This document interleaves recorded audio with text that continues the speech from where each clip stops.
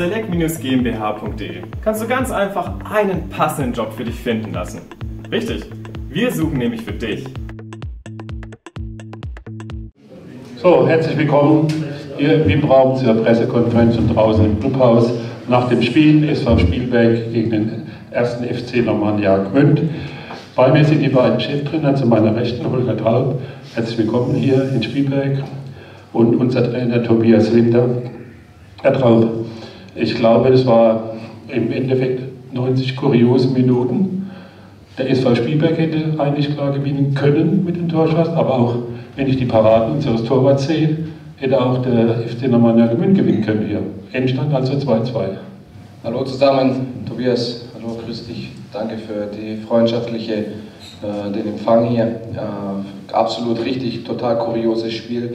Äh, wenn wir blicken äh, beim Stande von 2 zu 0, äh, unser Keeper, der Yannick Ellermann, hält uns ganz klar im Spiel oder beziehungsweise ihr lasst uns äh, die überhaupt die Chance, hier noch einen Punkt mitzunehmen, indem er diese Chance zum 3-0 nicht macht.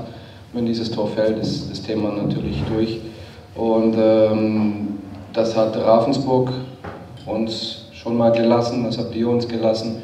Und sowas macht die Jungs unheimlich stark und äh, da bin ich unheimlich stolz auf die Moral und auf die, auf die, die Reaktion, da wirklich daran zu glauben, selbst noch in der 80., in der 83. Minute bei 0 zu 2 hier echt, die Jungs wollten das Spiel am Ende gewinnen. Und das ist, das ist eine tolle Moral, das ist wirklich super. Leider, leider ist es so in der Liga, dass wir uns bislang, äh, und da sind wir einfach selber schuld, äh, um die Punkte bringen, die uns eigentlich vielleicht auch zustehen würden in dem einen oder anderen Spiel. Heute sicherlich ähm, muss man aus unserer Sicht mit dem 2 zu 2 ganz klar zufrieden sein aufgrund von dem Spielverlauf, von den Toren hier. Aber ich denke, über, über 90 Minuten gesehen war es ein sehr, sehr ausgeglichenes Spiel.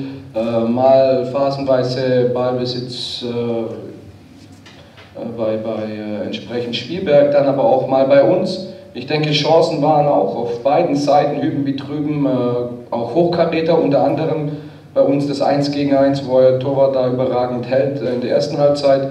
Oder dann eben, wie gerade eben schon beschrieben, eure Chance zum 3 zu 0. Und ja, die Tore, die Tore, die ärgern mich natürlich. Äh, das 1 zu 0, wo wir, wo wir einen Stellungsfehler auf dem langen Pfosten haben, beziehungsweise euer Spieler nach vorne arbeitet und wir aus dem Auge lassen und dann staubt euer Routinier entsprechend äh, ab. Das ist natürlich eine Wahnsinnsqualität, die wir äh, bei unserer Chancenverwertung halt äh, lange suchen.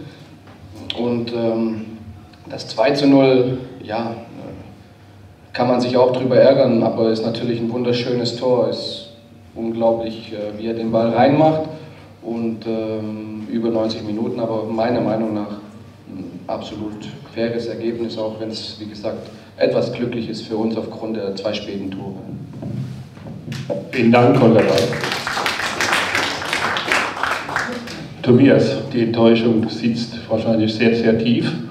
Äh, es war auch nicht mehr zu erwarten nach dem Tor noch vom Stefan Müller, das man glaube ich nicht unbedingt abpfeifen muss aus meiner Sicht zum, zum 3 und dann Kaplani die Chance und zum Schluss steht man da mit nur einem Punkt.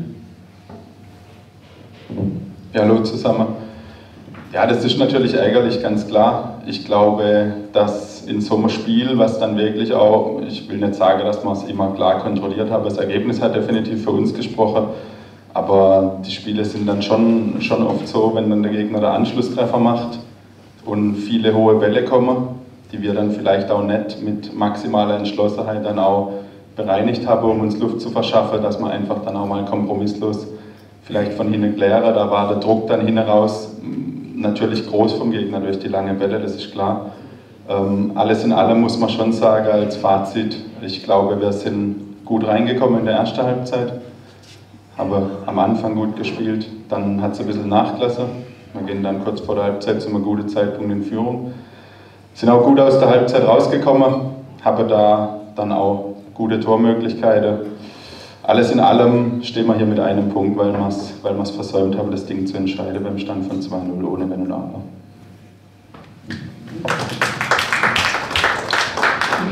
Tobias, sicherlich war das so Mitte der zweiten Halbzeit dem Druck von Bünn geschuldet, aber ich denke, wir haben uns auch ein bisschen zu arg nach hinten ab, abgesetzt, sodass der Druck natürlich auch immer stärker wurde.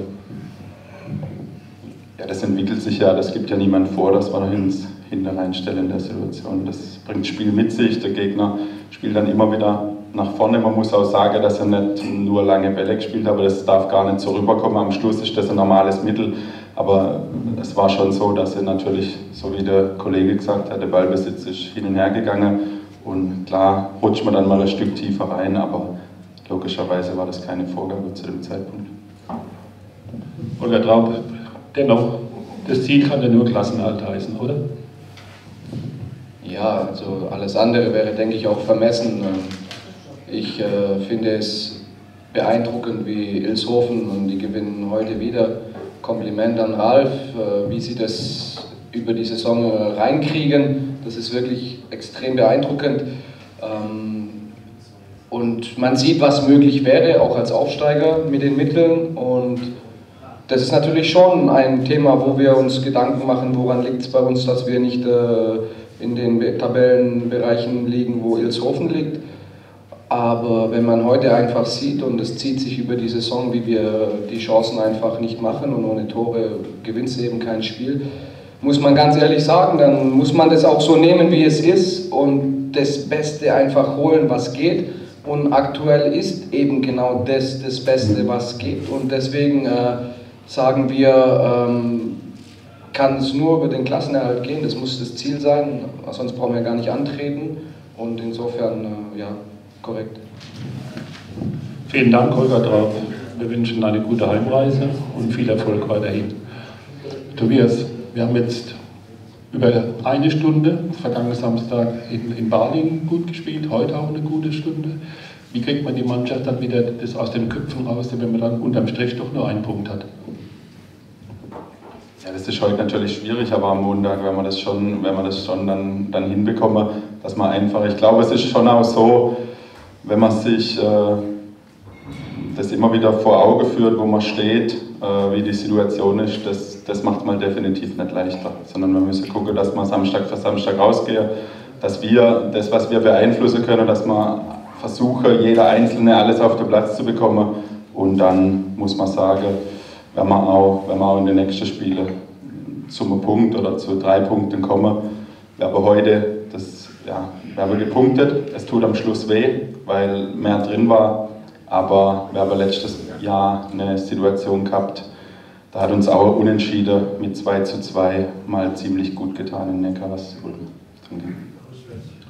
Okay, dann viel Erfolg, Tobias.